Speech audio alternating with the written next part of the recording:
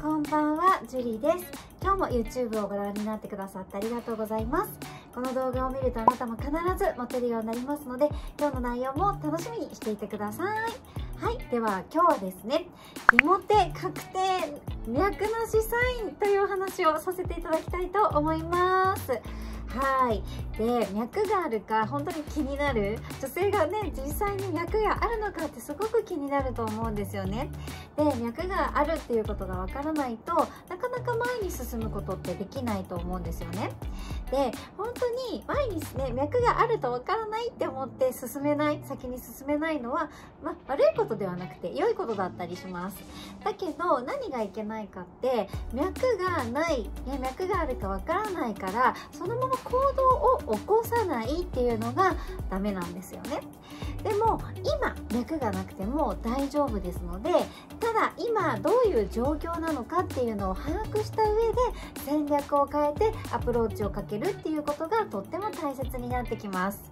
では今脈があるのかないのか女性っていうのは脈があるかないかっていうのを出してますのでそのサインを、えー、今日は5つお話をさせていただきたいと思います。この動画がいいなって思っていただいたらチャンネル登録と高評価の方もお願いします。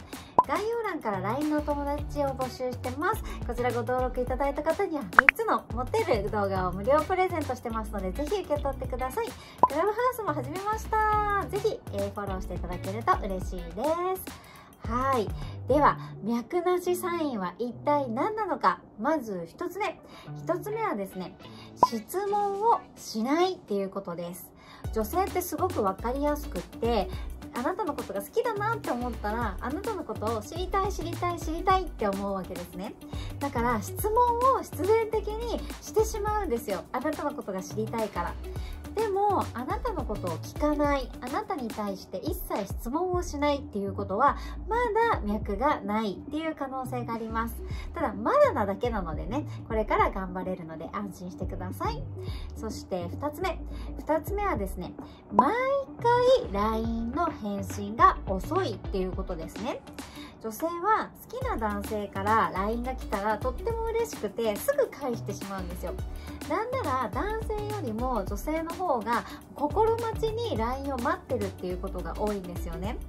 ね、あの好きな人の LINE が早く来ないかなっていう風に思っている。っていうのは女性の方が圧倒的に多いです。っていうのも女性の方が、えー、マルチタスクといって一度にいろんなことを考えられている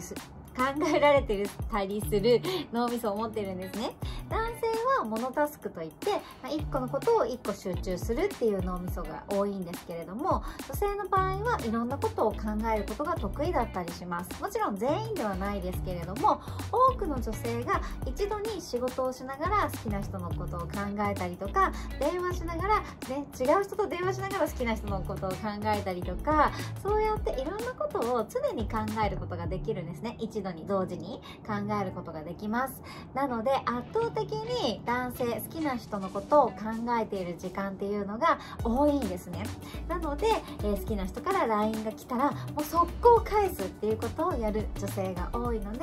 毎回返信が遅いっていうことはあんまりあなたの LINE を気にしていないっていうことにもつながります。ただ今来なくても大丈夫ですので安心してください。今脈がないだけです。はい。そして3つ目。3つ目はですねいつも忙しいです。いつも忙しいというのはどういうことかというと、えー、お誘いをしてもいつも忙しいって言っているっていう意味ですね。女性っていうのは好きな人ができた時に、えー、いつも忙しく勝ったとしても予定を空けるんですよ。何が何だって優先順位が好きな人になりますので自分が他の予定がたくさん詰まっていたとしてもこの機会を逃してしまったらあなたが自分から離れていってしまうんじゃないかっていうふうに思うからもう何が何でも予定を空けるんですね。例えばあなたが月曜日どうですかって聞いてあ月曜日ダメなんだけれどもでも、えー、じゃあ来週の月曜日はどうですかとか必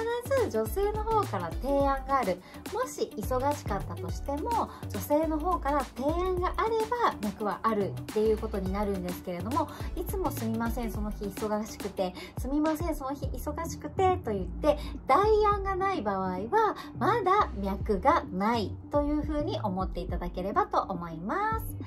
はい。そして4つ目。4つ目はですね同じことを質問されるっていうことですね。同じことを聞かれる質問されるということは相手の話をちゃんと聞いていないということになります。最初に言ったように女性っていうのは好きな人ができたらその人のことを知りたい知りたい知りたいっていうふうに思うので話の内容っていうのをねよく覚えているんですね。大体女性の脳みそをね脳の仕組みからして会話というものを大事にしていて男性よりもその会話記憶というものができる構造になっているんですよ。なのに同じことを聞かれる何度も聞かれるっていうことはあなたの話をちゃんと聞いていないということになります。なのであなたの話をちゃんと聞いていない同じことを何度も聞かれるっていうことはまだ脈がないと思っていただければなと思います。そして5つ目。5つ目はですね携帯をいじるです。やっぱり女性は好きな人がいるともう好きな人に集中したいんですね。たと仕事の、えー、霊魔が来るかもしれないと思っていても今目の前にいるあなたに集中をしたいと思うんですよ。そして私のとあなたの時間を邪魔しないでって思うわけですね。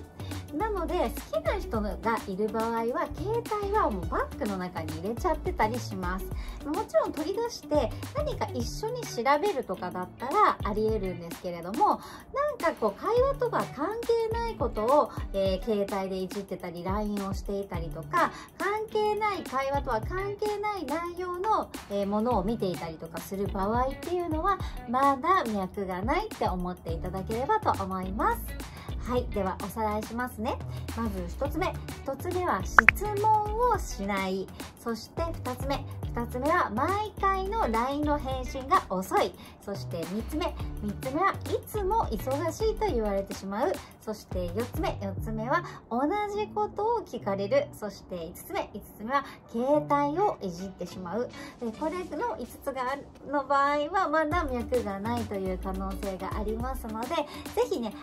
新しい戦略を立てる、えー、これがダメというわけではなくて違う作戦でアプローチをすればうまくいくと思います。いますので是非、えー、やってみてください。はい。では今日からですねエピソードっていうねコーナーを作りたいと思います。でエピソードっていうのは、えー、私が、えー、今日皆さんに言葉をかけますので皆さんだったら何て返信しますかっていうのを考えてみてください。じゃあいきますよ、えー、今日、えーと、最近私毎日眠たいんだよね。って女性から言われたらあなただったら何て返信をしますか？はい。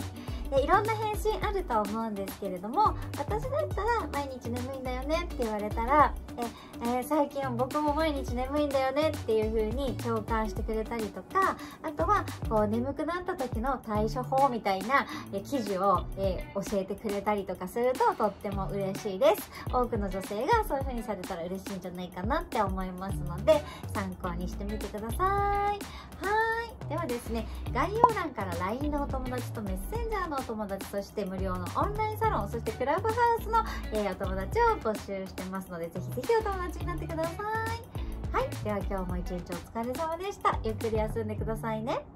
また明日。